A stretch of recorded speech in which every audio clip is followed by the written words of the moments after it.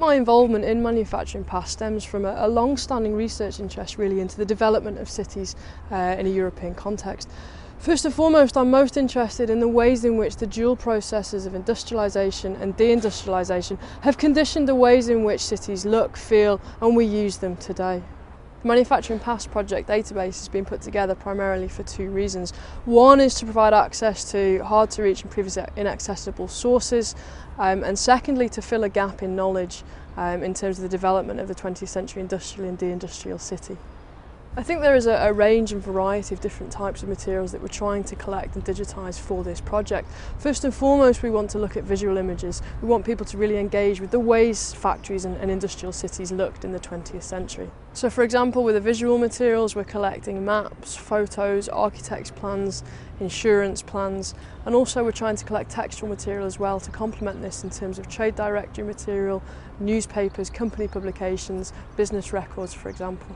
I think people can use the materials in a variety of different ways. First and foremost, they'll form part of teaching and learning packages, whether that's as part of an in-class seminar discussion, whether that's part of a standalone student project in which they use these types of materials to form their own questions and do their own research. For example, if I took the building behind me, which is the Peck Sock Factory, what I might then do is take a range of sources from the start of the building's history uh, in the 19th century to look at employment patterns, the organisation of the factory, where people worked, also the community side of the factory as well, whether they were part of sports teams, whether they mixed and lived and worked within the same environment.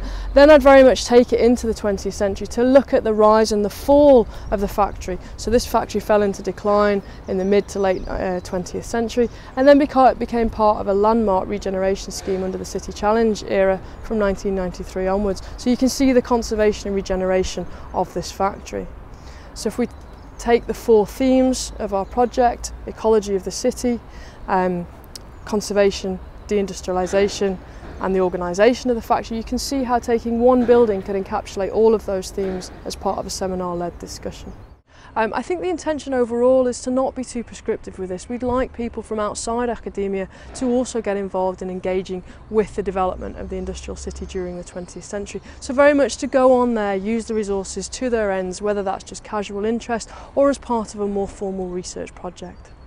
I think to summarise, the, the reasons why Manufacturing Pass is such an important project is one, on the practical level, it gives uh, a number of people open access to these sorts of previously inaccessible and hard to reach materials. And secondly, I think more than just the practical level of actually accessing sources, it allows a range of different types of people to actually engage with the very undervalued and underacknowledged part of our past that we're still coming to terms with within British society. So giving people the opportunity to engage with the deindustrial past, the development of the city is a very important part of this project.